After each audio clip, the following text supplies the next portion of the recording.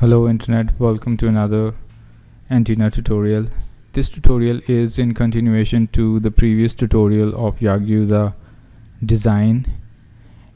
Now in this tutorial I'll be recommending a software and you can find the download link in the description and this is the name of the website vk5dj.com and you'll find the download link right in the middle of the page. This works just fine for Windows. I'm currently running 64-bit Windows so this is working just fine. You simply need to download the installer which looks something like this.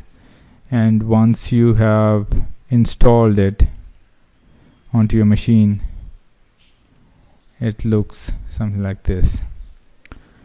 The best thing about this software is that it is extremely low on resources very very easy to comprehend and there are no cluttery menus on the top.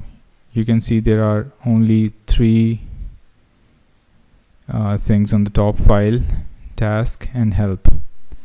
And uh, out of these we need to go to task and design Yagi.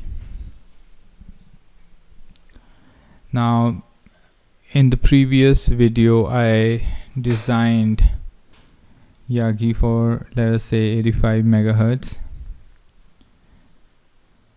And I'll keep the number of directors as 8 and I'll keep the rest of the things as they are uh, in the default mode. And then I simply need to click on calculate.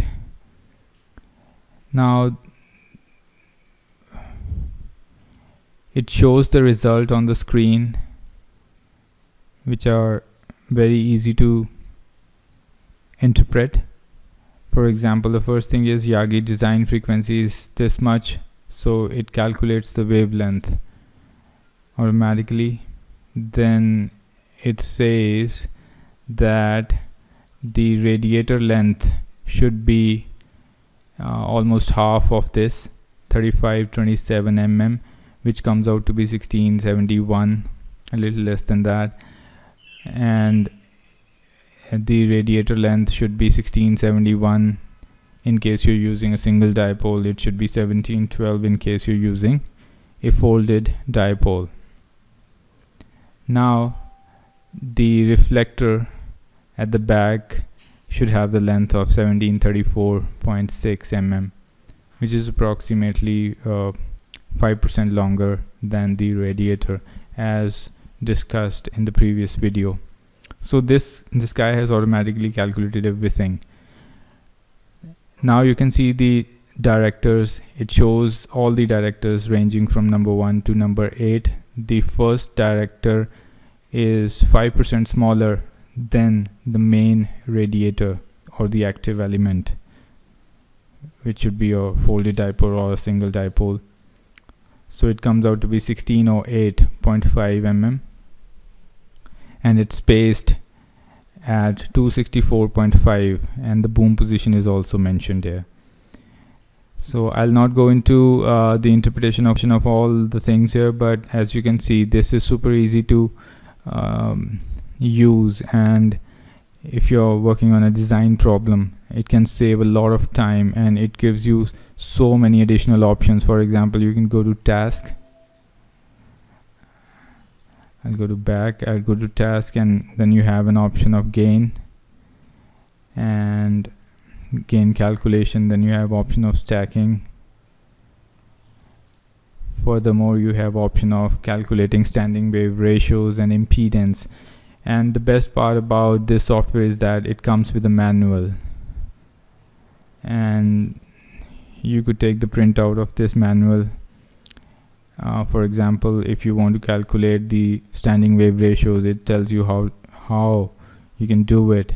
And what is the interpretation of all the uh, boxes that you see there. And I hope this recommendation quick recommendation on Yagi-Uda calculator in continuation to the previous tutorial was helpful. Thank you so very much for watching this video. If you found this video helpful then please consider subscribing this channel. And have a good day and a good life. Bye